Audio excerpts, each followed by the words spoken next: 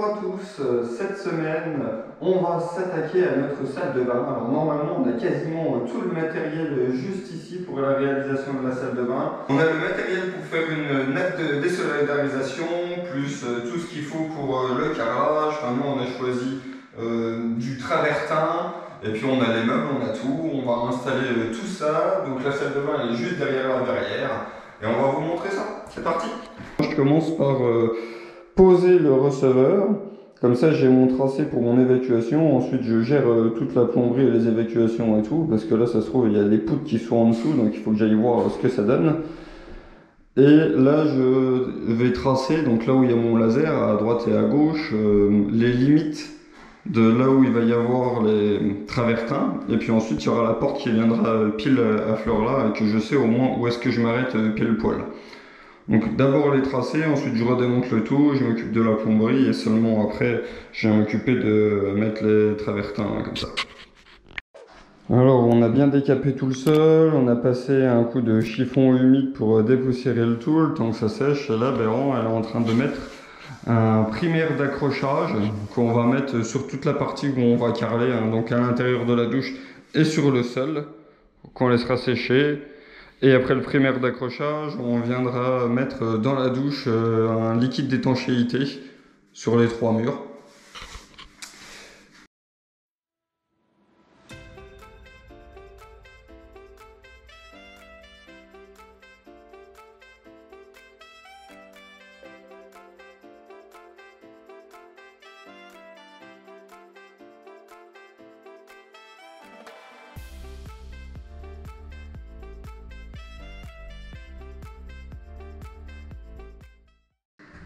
Donc là, prochaine étape, on va mettre notre produit d'étanchéité liquide au niveau du bec de douche et au niveau des murs ici. Un petit peu plus épais et du coup ça fait vraiment euh, l'étanchéité. On va voir ce que ça donne et après il faudra mettre du coup, on les voit déjà au sol, les petites bandes là qui vont au niveau des coins. Pareil pour euh, question d'étanchéité.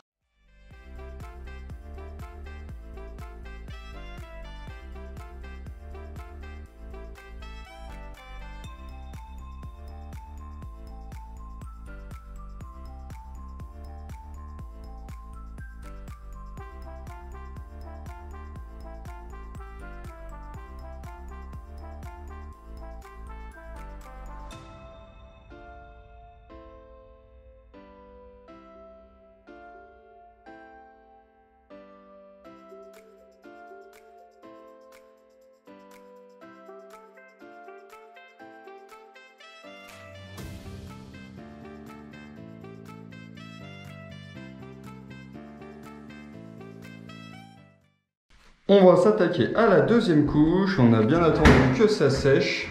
Et du coup, bon, suivant le manuel d'utilisation, il faut croiser et bien recouvrir évidemment les bandes. Allez, on y retourne.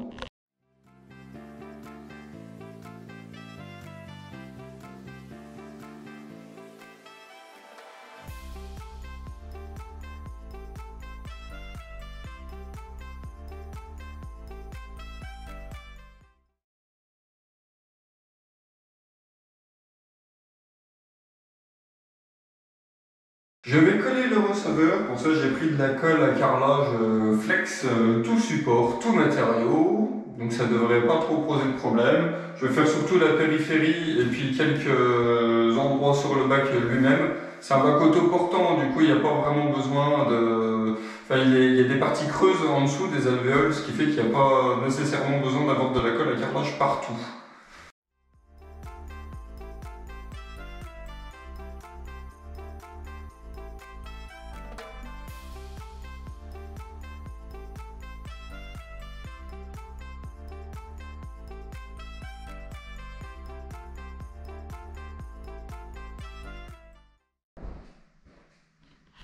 On est parfaitement niveau sur notre receveur, sur la partie qui n'est pas en pente.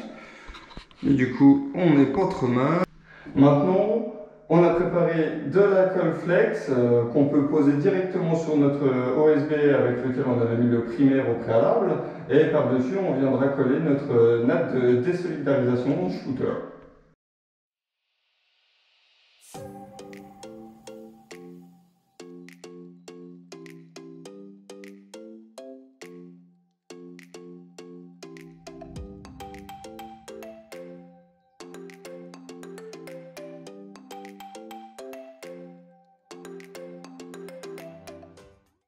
La natte de désolidarisation améliore l'étanchéité à l'eau.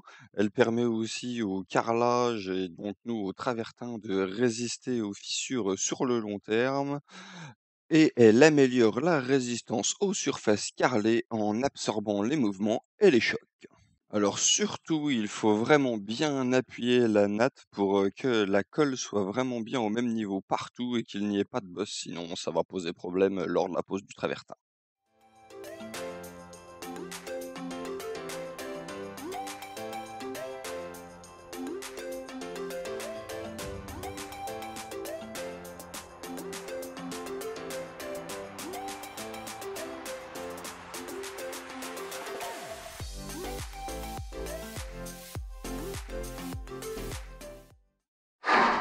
Alors, on s'attaque à la douche. Donc nous, on a choisi de mettre aussi une natte de désolidarisation dans la douche. C'est pas obligatoire, on va faire une double étanchéité. Au moins, on sera sûr que ça sera bien étanche. Et nous, on est sur deux supports différents. Donc là, c'est du béton cellulaire. Et là, c'est du BA13. Au moins, on est sûr que ça bougera. Enfin, si ça se dilate un petit peu dans le temps, euh, notre travertin euh, ne fissurera pas. Enfin, on espère en tout cas.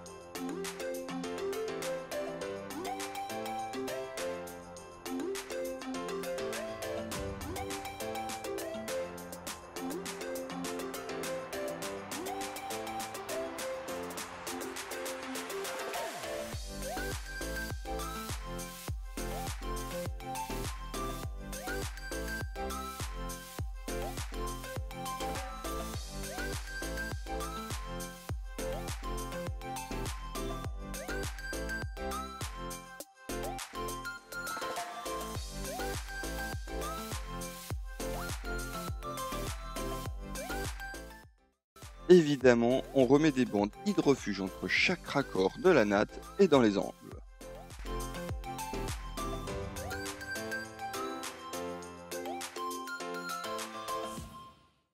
Nous avons terminé de mettre toute notre natte de désolidarisation partout dans le sol et la douche.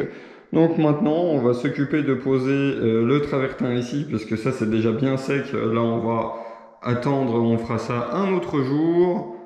Et puis voilà, c'est parti, action. Voici ce que nous avons choisi pour euh, mettre dans notre salle de bain, donc dans la douche et au sol, du travertin, c'est du 60 par 40 naturel.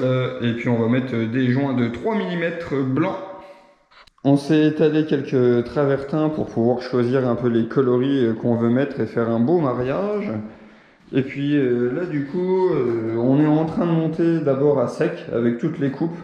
Euh, et ensuite, on va numéroter nos carreaux et on viendra euh, tout redémonter, en coller seulement et poser euh, travertin par travertin. Je précise qu'on a changé de colle, on a pris de la colle blanche tout simplement parce que si jamais il reste un petit peu sur le travertin, bah, ça se voit beaucoup moins que de la colle foncée. Ça reste de la colle flex tout support qui est parfaitement adapté pour l'encollage du travertin. Et aussi, ce qu'on voit pas très bien dans la vidéo, c'est qu'on fait bien du double encollage. Un Perran est bien en train de s'occuper d'encoller le sol pendant que moi je suis à côté en train d'encoller chaque carreau de travertin.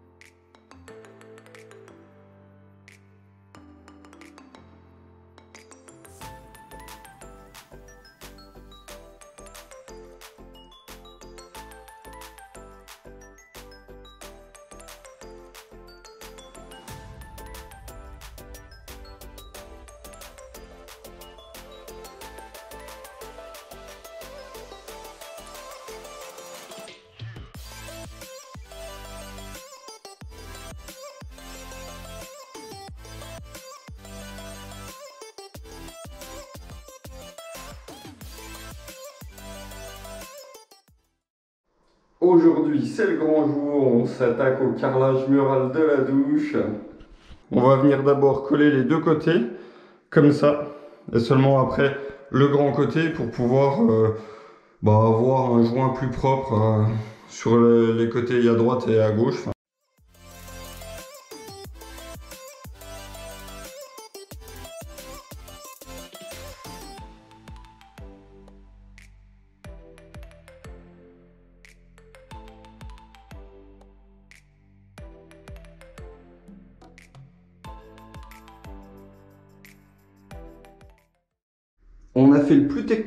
Le premier rang, on est vraiment pas trop mal, hein. euh, tout est bien récupéré avec le laser. Je sais pas ce que vous en pensez. Et ça fait longtemps qu'on l'a pas dit, mais nous on est satisfait du résultat. C'est plutôt propre, on va s'atteler rapidement à faire le deuxième rang pour pouvoir bien mettre les croisillons comme ça et être sûr qu'on ait bien la même épaisseur partout et après c'est bon, le départ sera fait.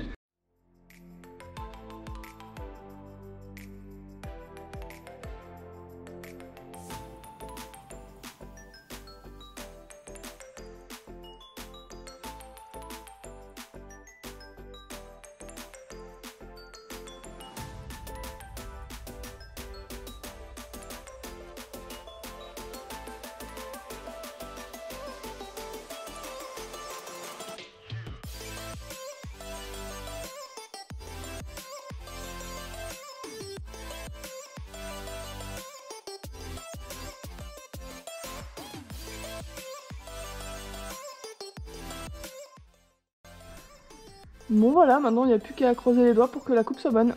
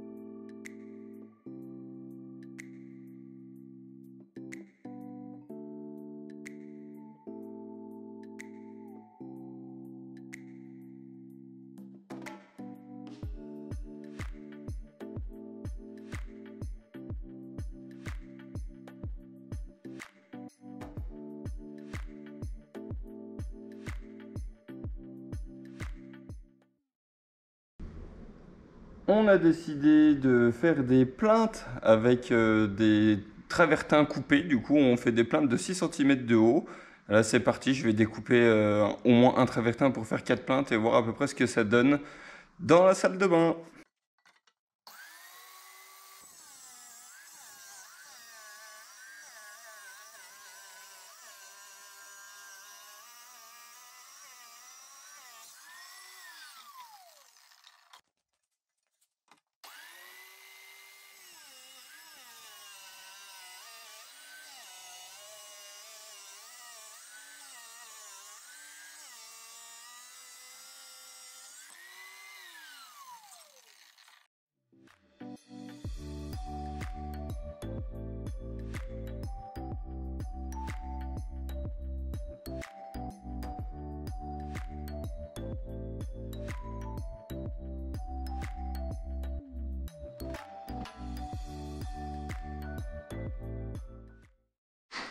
On s'attaque aux joints. Donc on commence par nos joints euh, de la douche. Et puis après on fera euh, ceux du sol. Donc on a choisi un joint blanc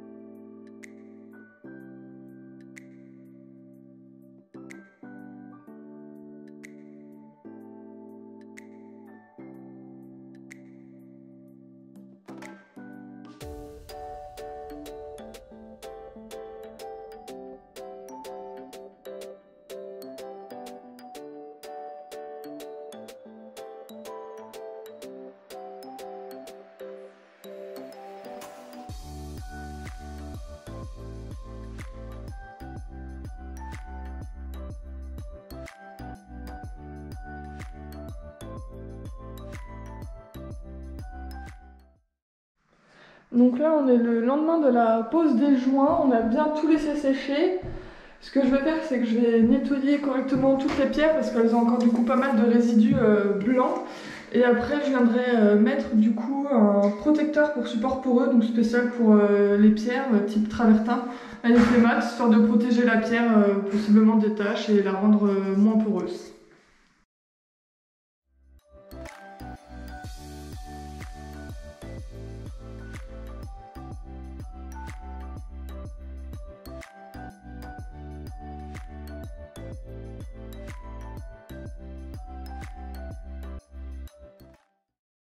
Voici notre paroi de douche qu'on va mettre du coup dans la salle de bain. On a bien euh, tout démonté, tout ouvert. On a regardé un petit peu comment ça se monte et puis on va aller euh, monter ça étape par étape dans la salle de bain. Alors on avait commencé au niveau à bulle et finalement on a été chercher le laser et on a mis nos chevilles juste ici. on voit pas grand chose dans la caméra. Tous les trous seront faits et on va venir donc fixer elle ici et on aura une partie fixe de la porte.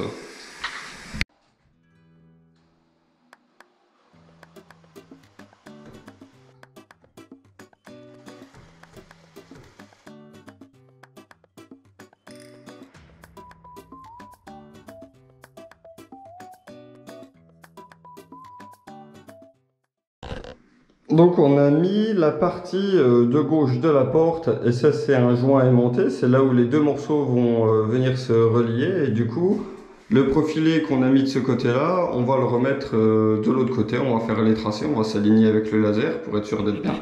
Et on est reparti.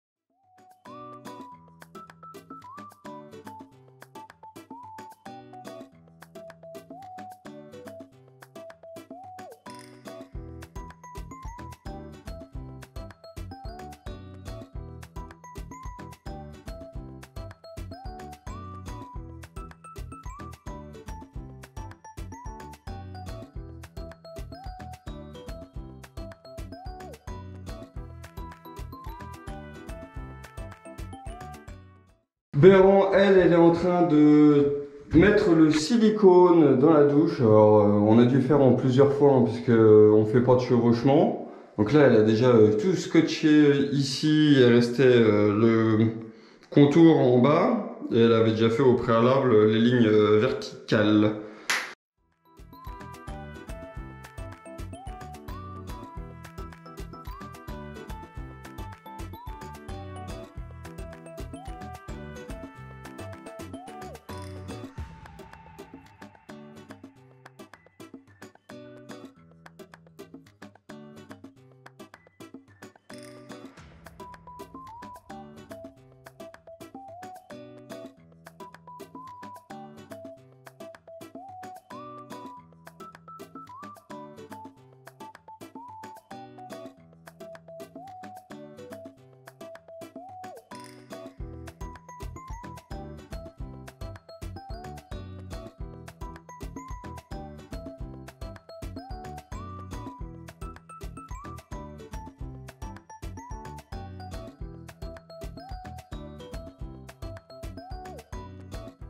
Et nous voici à la fin de la vidéo sur notre salle de bain. Et franchement, t'en penses quoi?